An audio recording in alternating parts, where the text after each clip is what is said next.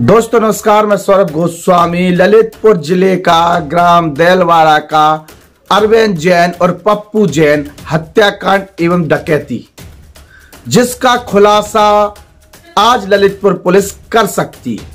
जिस प्रकार से यह पूरा घटनाक्रम घटा, वो घटनाक्रम लोगों के अंदर डर भर गया है। इतना डर और इतना भय अंदर लोगों के अंदर व्याप्त है कि कई दिनों तक तो लोग उस क्षेत्र से गुजरे नहीं। रात्रि होते ही सभी घर के दरवाजे बंद हो जाते थे। पुलिस का लगातार गश्त तो देखने को मिला, लेकिन लोगों के दिल में केवल एक चीज़ बैठी थी कि पप्पू जैन हत्याकांड का खुलासा कब होगा।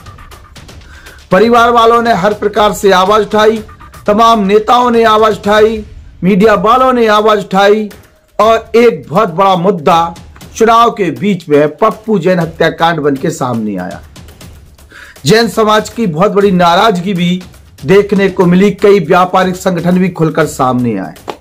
एक तरफ़ प्रशासन चुनावी कार्यों में व्यस्त था तो दूसरी तरफ़ पुलिस कुछ टीम जो लगाई गई थी, वो इस केस को खोलने के लिए लगे हुए थे।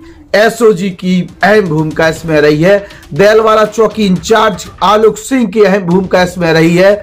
ललितपुर शहर कोतवाल की भी अहम भूमिका इसमें रही है और बाकी तो अधिकारियों की मॉनिटरिंग रही ही है। लेकिन एक तरफ़ चुनावी प्रक्रिया को शांतिपूर्ण संपन्न कराना, दूसरी तरफ़ इतने बड़े घटनाक्रम को, जिस पर मुख्यमंत्री योगी आदित्यनाथ को खुद बोलना पड़ा, उस पर कार्रवाई और खुलासा करना भी पुलिस की अहम भूमिका थी।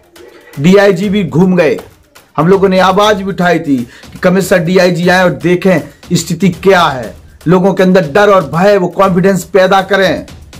और वैसा ही कुछ होता हुआ नज़र आया। सामूहिक आवाज़ उठाने का असर दिखा। प्रशासन दबाव में आया। प्रशासन ने तत्काल कार्रवाई आरंभ की। और सही लोगों की तक वहाँ पर वो पहुँचे हैं, उनके गलेबान उन्होंने पकड़ी।